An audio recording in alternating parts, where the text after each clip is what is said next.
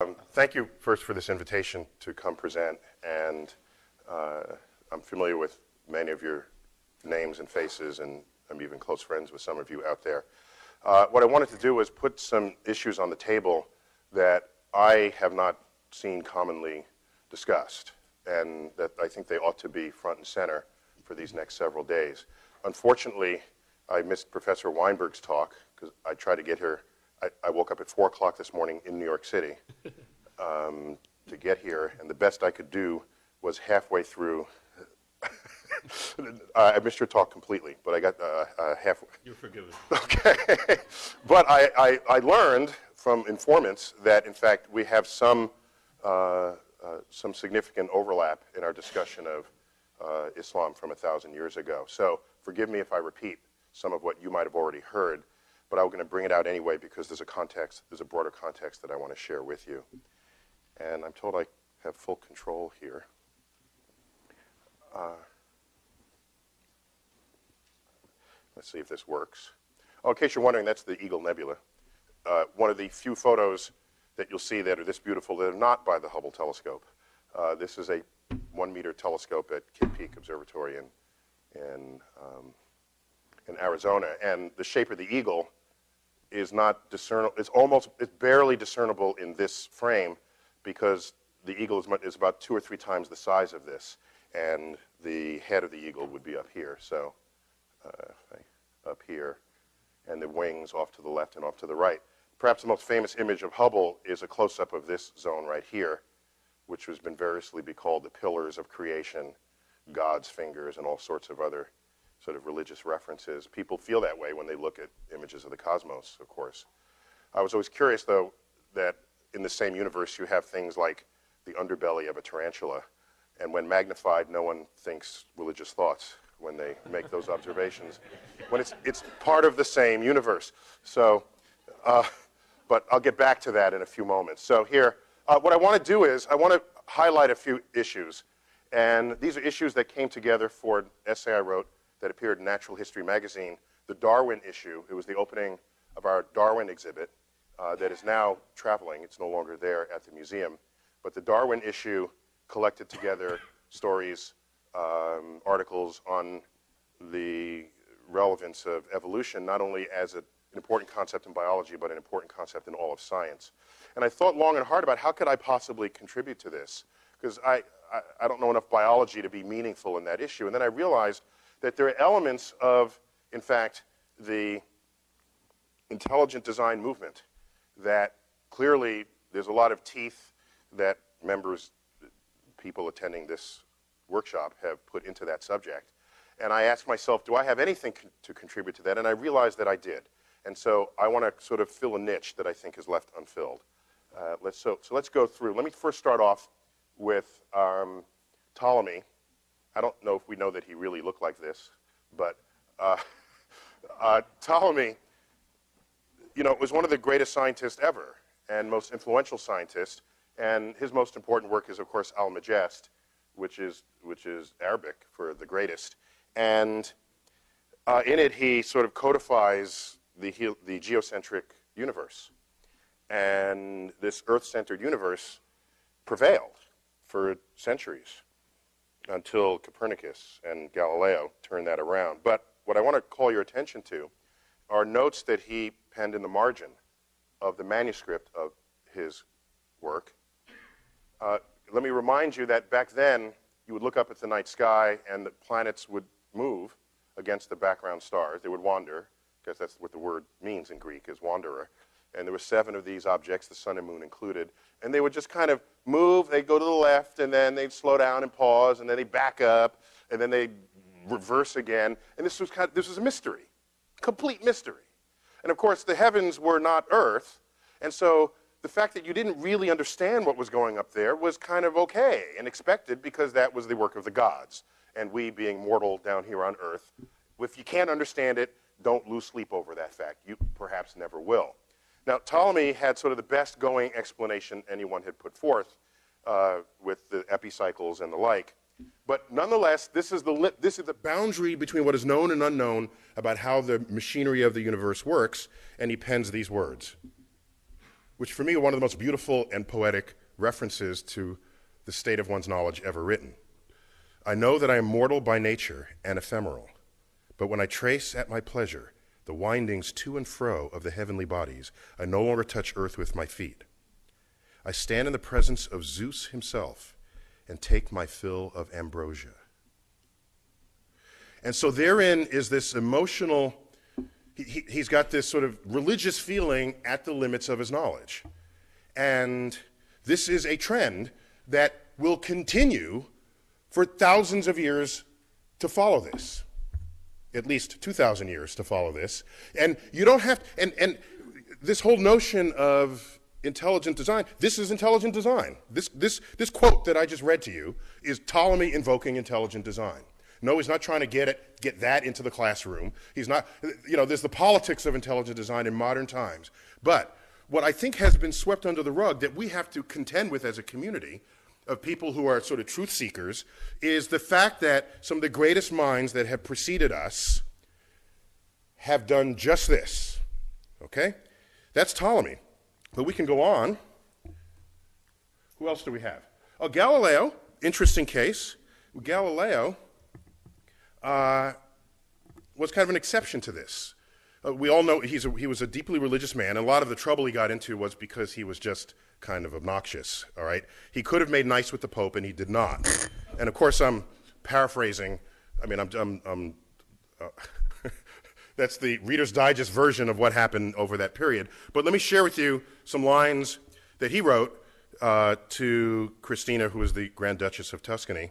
Some of these quotes you've heard before, um, but I think they're, they're worth taking to heart. The Bible tells you how to go to heaven and not how the heavens go. That's one of the famous uh, quotes attributed to Galileo. Another one is I don't feel obliged to believe that the same God who has endowed us with senses, reason, and intellect has intended us to forego their use. And so he was kind of the, I see him as one of the first to say, all right, if religion has a, if there's any point and purpose to it, it's not to be to serve as a science textbook. Okay, so he was kind of the first to suggest this division, not to get rid of religion. Of course, like I said, he was a religious fellow himself. But it gets interesting when we get sort of philosophically interesting when we get to this gentleman. I can back up here. Uh, Sir Isaac Newton. Now, I don't know what you know of Isaac Newton, but everything I've read of his tells me that there's no greater genius to ever walk the surface of this earth. I'm just, just I don't know if you've ever felt that about anybody. I didn't feel that about anybody. But you just read what this man wrote, okay, line by line by line. This this guy was plugged in to the machinery of the universe. I think there's he's unimpeachably brilliant, unimpeachably brilliant. And uh, let me read again what we heard from uh, Mike Shermer earlier in Isaac Newton's writings. By the way, in his Principia, here's the page one, uh, page zero of Principia. In it, he like d- discovers the laws of motion, F equals ma, discover the laws of gravity. It's, you know, it's all there. And he did this all before he turned 26. And in this, when he talks about motion, there's no reference to God. When he talks about his, his two body force that he deduced, this universal law of gravitation, there is no mention of God. It's just not anywhere there because he understood it. He was on top of it. He was there. Even though the understanding of the motions of the planets before he came along was given unto God because nobody understood it. Or nobody understood well enough to really believe that they had a full predictive handle on it in the way the universal law of gravitation supplied. And so what you have is Isaac Newton abandoning reference to God until he realizes that if all you do is calculate the two body problem, here we have like the moon and earth. Yes, he's got that calculated. Now you have the sun and the earth. You got that. But wait a minute, now the earth and the moon go around the sun, and sometimes we're close to Mars and sometimes we're not. And when it comes near Mars, there's a, there's a tug that's stronger there than in any other part in the orbit. And then it comes over here, and then Jupiter tugs. And it's all these mini tugs. And so he's got to do this two body problem for Earth, the moon, Earth, and the sun, Earth, moon and Mars, Earth, moon, Mars, and Jupiter, and it becomes a rapidly complex problem. And he realizes that, in fact, applying this simple sort of approach to calculating the stability of the solar system, he finds he can't stabilize the solar system. He can't account for how we have stayed this way for as long as what was possibly necessary from the beginning of the universe. And so, what does he say? He's, he's, he's at his limits. He's at his limits. And so you read Prince but God is nowhere until you get to the general Scholium. And then he says the six primary planets.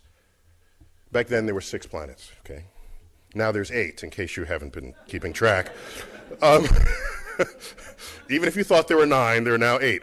Uh, the six primary planets are revolved about the sun in circles concentric with the sun and with motions directed towards the same parts and almost in the same plane. He's got the whole picture now, and he's trying to sort of account for that.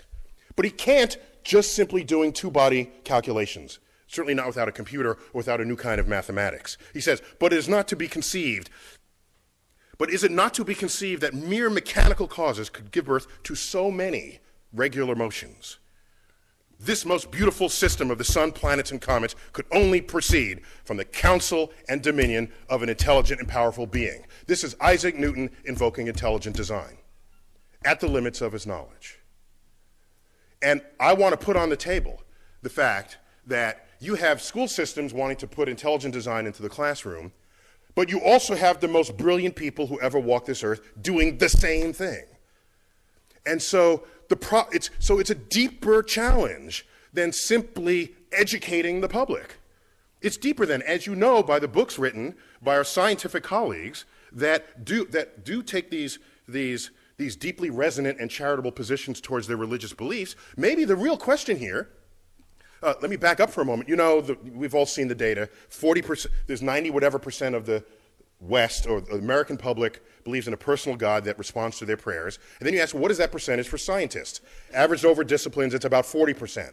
And then you say, how about the elite scientists, members of the National Academy of Sciences? An article on that, those data recently in Nature it said 85% of the National Academy reject a personal God. And then they compare it to 90% of the public. You know, that's not the story there. They missed the story. The, the story. What that article should have said is, how come this number isn't zero? That's the story. Okay? So, my esteemed colleague here, uh, uh,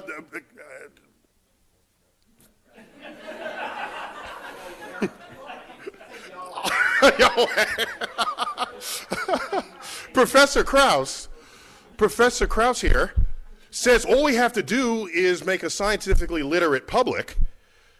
Well, when you do, how can they do better than the scientists themselves in their percentages of who is religious and who isn't? That's kind of unrealistic, I think. So there's something else going on that nobody seems to be talking about.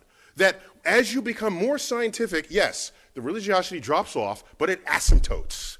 It asymptotes not at zero. It asymptotes at some other level, so they should be the subject of everybody's investigation, not the public. I'm, I'm, I'm telling so it's not 85% reject, is that 15% of the most brilliant minds the, the nation has accepts it. And that's something that we can't just sweep under the rug. Otherwise, we're being disingenuous to our to the efforts here.